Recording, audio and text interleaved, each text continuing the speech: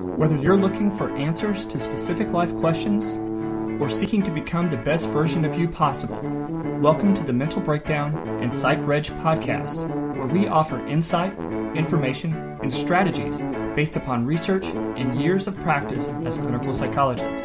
So sit back, have a listen, and get connected with our hosts, Dr. Berney Wilkinson and Dr. Richard Marshall. Welcome back, Richard. Today, we're going to talk about another one of our favorite topics, and that is motivation. Motivation. And it's motivation uh, just a, with a little bit different of a perspective that we're going to talk about That's today. right. This is a graduate course on motivation. That's right. This is not Motivation 101. That's right. And it's from a well, it's inspired by true events. No, it's inspired by a article that was in Psychology Today Mm-hmm. called "The Mystery of Motivation," written by uh, Gary Drevitch. We don't Right. we don't know much about him because there wasn't any information yeah, there there, but um, but you know he pulls from so many different fields and so many different perspectives that this article is pretty long. It's very pretty- long. pretty dense, Mm-hmm. and um, but it, but it's really uh, it just gives you su- such Right. a different perspective or a different um, angle uh, of motivation that we just have to talk about it. Right. We did a did a, a podcast recently about hormones Right. uh, in in adolescence, and we made the point there that um, it's not it's not just what we assumed, Mm-hmm. um, and and this article on motivation sort of takes the same tack, is that it's not uh, we assume that rewards and punishments are effective. What this article states is that that may not be the case, and that's the difference. Um, you and I are not big believers in reward and punishment right, systems, uh, right. especially with child rearing. Right. Okay, we sort of take that Alfie Kohn's um, approach uh, to reward and punishment that that there are better ways to raise children Mm-hmm. than reward and punish.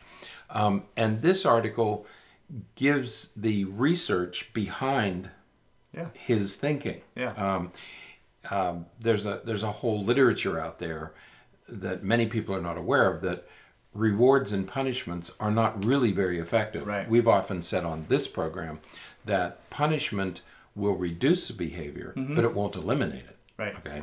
Um, rewards might work, but they may not work, and they may have just the opposite effect Right. as you intend. and, and neither may teach anything. It May not get you So it doesn't much. generalize, and Right. it doesn't, it can't, may not be used in other settings or other situations. That's right. So, That's right. Um, but I can see on your notes page that you have a ton of things written down, and so you, I know you'll probably need your glasses. I have to confess, this took me a couple of tries to get all this organized. Did it? Yeah, because normally we read these little blogs and Mm-hmm. it makes sense and we come in and talk about them. This one and the hormones article were a little more challenging. Mm-hmm. Yeah. It took a little more um, Wasn't so effort, more careful reading, and then you try to organize it so that we can summarize what, Mm-hmm. um, this very long article. It's difficult to summarize it, but it but it really divides itself into five pieces. Right. Okay, and the first piece is the Wells Fargo Right. uh, scandal. Right. It starts out talking about the 2011 Mm-hmm. Wells Fargo scandal, where, um, well, you, the the employees were uh, Incentivized. incentivized, Right. Or else, uh, you know, another word for that is uh, offered rewards if Yeah, they were to right. That's right. um, in, get more accounts signed Open- up and, right. and uh, get more people into the bank. Right, to open more accounts. Right. Okay. And so the goal was to open more accounts. We don't know what the goal was, whether you had to open 20 or 30 or Right. however many per month, didn't matter. Um, but the goal was you had to open new accounts. But the total number were two million. But they ended up opening 2 million new accounts, Right. right?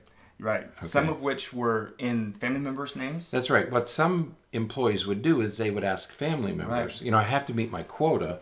Can you open up a couple of new accounts? You know, you don't have to use them. You just have to open them. Right. Okay. Because they said that in many of the accounts there was no money. Right. It- They were just opening the accounts. Um, but in some cases, accounts were opened unbeknownst to the customer. Right. That all of a sudden you had four or five bank accounts and you didn't even know it. Mm-hmm. Right. Okay. That was the bigger problem. Yeah. Okay.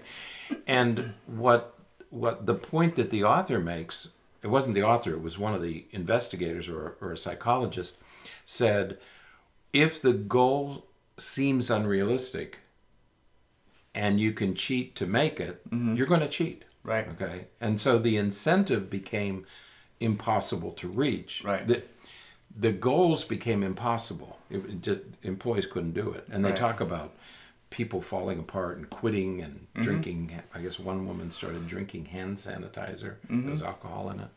Um, that people had to do all these weird things to try to meet those unrealistic goals. And one of the things they did is they cheated. They Yeah. opened up accounts, Yeah.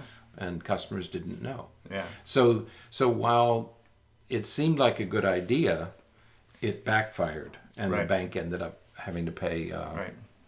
Millions of dollars. hundreds of millions of dollars in Right. fines. Right. Mhm. So, so the question then is, why would it be that people that that these potential rewards result in peop, in others in individuals um, doing something that they know is wrong, something that Right. some, being so motivated by Right. this potential reward that they that they were willing to do something that's not just illegal, Right.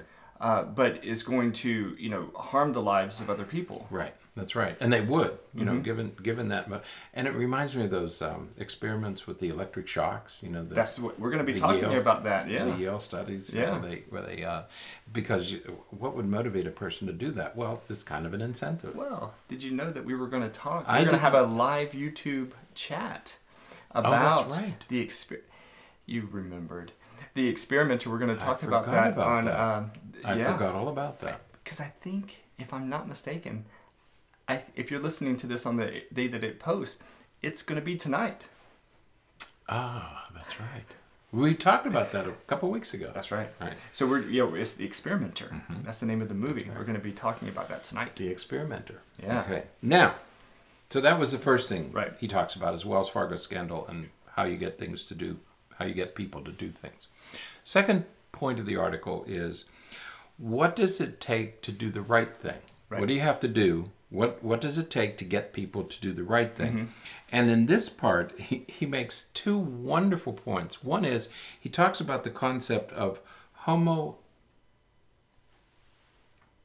economicus. I wanted to make sure I got it right. Homo Homo economicus. econo- Right. That we will act in our economic best interest. Right.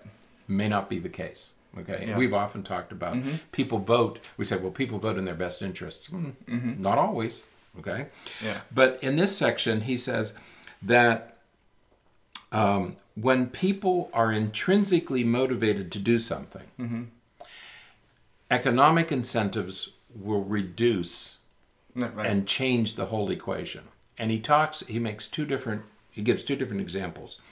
The, the easiest to understand is the Boston firefighters. Mm-hmm. Okay. Mm-hmm. And he said that the Boston firefighters, um, they wanted to reduce the number of sick days. Mm-hmm. They, they saw the sick days climbing, so they wanted to reduce the number of sick days that firefighters took. So they said because they had an unlimited number of sick days that they were allowed to take, okay, and they wanted to reduce the number that they were taking. So they said, okay, you're limited to 15. In in a single year, you can take 15 sick days. What happened? The number of sick days doubled. right. Why? Because the firefighters had this intrinsic motivation of serving the people of Boston. Right. You know, I mean, certain kinds of people become firefighters. I Oh, mean, yeah. there aren't a lot of people who run into a building Yeah. that everybody else is running out of. Right. Okay. So there is some intrinsic motivation, some um, sense of duty, Mm-hmm, responsibility to the citizens that firefighters and police officers and soldiers have. Okay. Once you change the equation and say you get 15 days, then they're saying, okay, I get 15 days. Right. So they took the days that they were Right. given. Okay. Right. Because what happened was what he calls, he refers to it as crowding out. Mm-hmm. You crowd out the intrinsic motivation by introducing some other incentive, whether it's money or time or days off. Yeah. The other thing, he, the other example is picking your kids up at daycare. Right. Yeah. We want you to come at a certain time. Mm-hmm. And most parents do their best to get there at a certain time. But when the daycare started to fine parents for Mm-hmm. Yeah. being late, then then it changed the equation because they now you were buying something. Right. Okay, it, it went from um, this is my responsibility to okay, I have to pay three dollars for every fifteen minutes that I'm late. I'm going to buy 15 minutes and not worry about when I get there. Right. Okay. So the the uh, percentage of parents picking up their children late increased dramatically. Right. So you you you change you you move from intrinsic motivation to extrinsic motivation, and that's another problem. Mm-hmm. Yeah. And you and I have talked about that many Right. many times. Yeah, he pulled that from the Economist, uh, an economist who who said, you know, one way to increase the likelihood that someone will do the right thing is if you offer incentives Right. for doing what you want them to do and to avoid what you don't want them to do. Mm-hmm. And sometimes, uh, while that is often the case, as you said, sometimes that backfires, and and it, it creates additional problems, creates other issues. Right, because you're you're you're changing the relationship. You- Right. you've changed the relationship from in from somebody doing it out of a sense of duty Right. to now we have some economic exchange. You know, now I'm just Mm-hmm. Right. you know, I don't mind paying it's it's worth it's worth it for me to spend another 30 minutes of work. I'll pay you to babysit my children. Right, So you've changed it to a Yeah. sort of a, an employment Yeah. um, situation. Yeah. Um, Number three. putting a price on bad behavior. Yeah. Okay. Yeah, Th- that that's it's a fascinating uh, point because again we're talking about you know what we're talking about some type of exchange. We're talking about some type of you know this is what this is worth. This is what um, you know if you if you do this you get this or if you don't do this you get that. Right. Um, so you know, it, for me, it keeps going back to what we what we always say that you know, reward and punish types of per, uh, uh, perspectives Right. are so restricted, so limited in their utility. Right. And um, and here again we, we can use that daycare example, but um, if if I ask you to come over and turn off the water, remember that Sunday morning? I do remember that. Sunday Or morning. if you ask a friend to help you move, okay, if something all of us are asked, hey, we're moving, can I help? You know, I refrigerator and a sofa and all that stuff, and so can you come over and help me move? right, and um, you do, and I say, okay, that was great. Here's a couple beers, or I give, you know, Right. let's go out to dinner, or um, I take you to lunch, or there's some some exchange like that. I wouldn't dare pay you for. I, it would never occur to me to say, here, here's ten dollars for helping me move, Right. because that violates the relationship. Right. Okay, and so. Um, it's right, you don't pay somebody. You know, it's like you take somebody out on a date. Mm-hmm. what do they do? Pay you back? You know, they say, "Here's ten dollars. Right. Here's twenty. You Right. know, that's it- it's a fine it it a personal relationship, and a, and doing it for the right reason right, um, becomes a financial becomes a uh, becomes a financial transaction. right, Okay, and you don't want to make things whether it's money or whatever else you're exchanging. Mm-hmm. Right. You don't want to make it a financial transaction. right. Okay. Yeah, because it, it- it's, you know, again, a lot of the, what we're talking about is you're, you're putting a price on someone's goodwill, someone's willingness to, to do something, you know, going back Right. to the firefighter example, you know, they're there because that's what they're driven to do. But as soon as you put a price to something, as soon as you create a, um, an incentive, Right. um, since we're using that word, an incentive for something, you know, I, I think that our nature is to take advantage of that incentive. That's And right. so why wouldn't we? Mm-hmm. And, and so Yeah, because you've changed the relationship. Right. You've changed the nature of our relationship. right, yeah. Instead of saying, "Hey, you know, this is your job, and we appreciate that you really want to be here doing this job, and so uh, we know that you're going to be here as often as you can, so you can have as many sick days as you need, um, but we know that you're going to be here when you can." And you take that away, and you say, "Okay, well." We, you're expected to be here every day, but you have 15 days that you can use as you want. Well, Right. that Okay. makes it different. You've changed. The relationship now has changed. Yeah. You know, I might still be, um, um, I might still be As driven, as driven yeah. as as um, dedicated as I was before, but now you've changed our relationship. Now Right. you've given me 15 days. Right. Okay. in, in three minutes for every 15 minutes three dollars for every 15 minutes that a parent is late hey a $12 an hour for a babysitter Right. um, if I can make fifty dollars at work and pay Right. you twelve, that that's an do that? economic exchange. Yeah. Okay.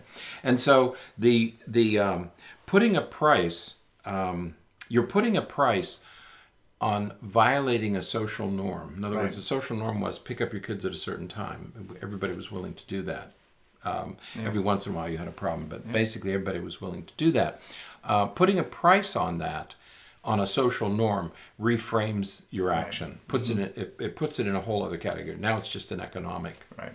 um, issue. Right. Number four is everybody's doing it. Right. Everybody's doing it. Have you have you stayed in a hotel recently where they have these signs um, that say, um, "Please reuse your towel"? No. Yeah, they they have little things now because most people do. Yeah. You know, I mean, some people go into a hotel and if there are six towels, they use all six. You know, Yeah. one for the floor and one for your hair and one for your body. Um, uh, hotels are now uh, uh, they have little cards printed up that say. Uh, we'd like for you to reuse your towel. It saves on energy and electricity, and it's good for the environment. Yeah. So, if you don't mind, please reuse your towel.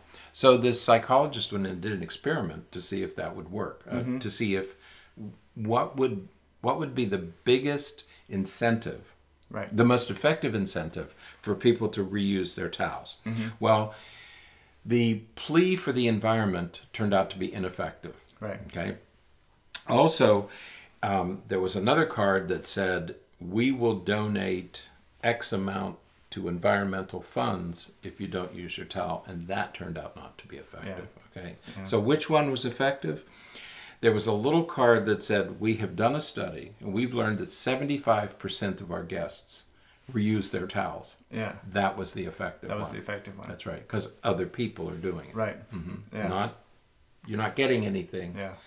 there's no money exchanging it's just that most other people are doing it Yeah. Plastic shopping bags. Yes. okay there was a this this study in ireland uh, where they wanted to do away with plastic shopping bags. So they charged um, 33 cents. You went to the grocery store and if you want do you want plastic or paper And said, i'll take yes it's okay. But they charge you 33 cents okay? It wasn't that people were paying for it. It's that it was obvious as you were carrying your plastic bag that you were violating this agreement mm-hmm, okay and mm-hmm. it was obvious to everybody and Right. so you had this social stigma attached to you Yeah. that was what made the difference is Yeah. the social stigma Yeah. Mm-hmm. Yeah. So we, we are much more likely to do things if we feel like other people are doing them. Right. So, you know, that, that whole, uh, whether it's the, we want to call it the mob mentality or we call it following the crowd or, you Right. know, uh, conf- confirming or con- conforming Right. to, to social norms. Um, but it, it's, it is absolutely part of our social being Mm-hmm. to, to try to fit in with That's who we see as our peers. yeah everybody else is getting to the daycare center on time you know Right. you're the only one leaving your kid there and it's a social embarrassment but what they said was if you're picking your child up late nobody else is there It'll see. that's right nobody sees you picking your child up late Yeah. Now, the last part of this, uh, the fifth point that they make, is called cobras, uh, cobras, rats, and kids. Right. Okay, what is cobras, rats, and kids? Um, when the British, I just love this stuff. When the British were had colonized India, and they were concerned about the number of cobras crawling around, so they began to pay a bounty to get rid of the cobras. They began to pay a bounty for cobra skins. Okay, and so um, it didn't seem to be working. Why not? Because people were raising cobras Right. to make money. Mm-hmm. They were raising cobras, and they would kill them and give the skins, and so it was like, Mm-hmm. Yeah. and so then it wasn't doing anything to the wild cobras. right, okay, and so the British government said, "Oh, we're not going to bother with this anymore." So what they do? They let all the cobras go. so that it actually increased the number of cobras in India. Same thing with rats. There was another country they wanted to uh, reduce the rat population, so they started paying uh, people a bounty for every rat tail that you would turn in. Once again, people began um, farming rats. You know, growing rats. The third, the, the third part of this little is kids. is kids. It's just start worrying me the direction that you're heading. Uh, so we let all the kids go. um, and, and so we have to be careful when we're dealing with children that we don't offer incentives that backfire on us. Right. Okay. And it frequently happens with children, you know, paying them to do chores. And Right. like they, they mentioned one thing and, and um, that if you pay your children an allowance to do their chores and they spend the allowance and then you give them money to buy other things, Mm-hmm. well, then they're going to spend their allowance faster. Right. Okay, they're, they're, th- there's a disincentive to save it mm-hmm. because if they spend They're that real fast, they're going to get mm-hmm. some more. He tells, I, I think this was autobiographical, that his parents paid him for pulling dan. You know what dandelions are? Yeah. Do you have them here Yeah. in Florida? You've been here. Yeah. You don't see many dandelions here. Well, if you don't take care of your yard, you do. Oh, you would. Yeah. Okay. All right. Well, up north, dandelions are a big problem in yards.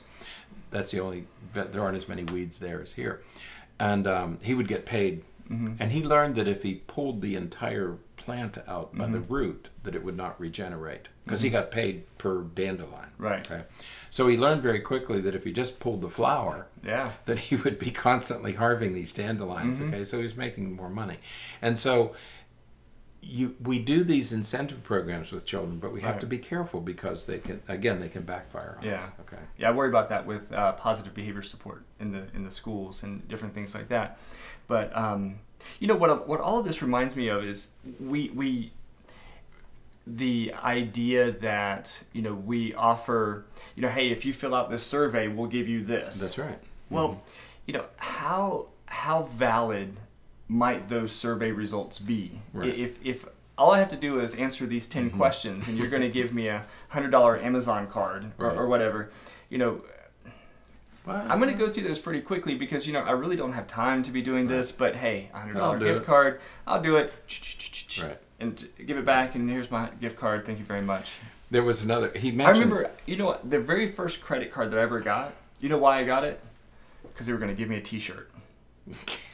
Really? Yeah, I was, I don't remember how old I was, but it was at USF, University of South Florida. Oh yeah. Um, right. I was walking through and they go, Hey, do you have a credit card? And I was like, No. He goes, Hey, you want a t shirt? I was like, Yeah. that was okay, more just important than the credit card. Oh, card. yeah. I didn't Right. care about a credit card. Jeez, But, uh, but yeah. Well, they he mentions here about um, the studies, Mm-hmm. you know, and he'll say, "Well, we want to conduct this study. We'll give you fifty dollars to Mm-hmm. participate." And you say, "Oh, maybe I will."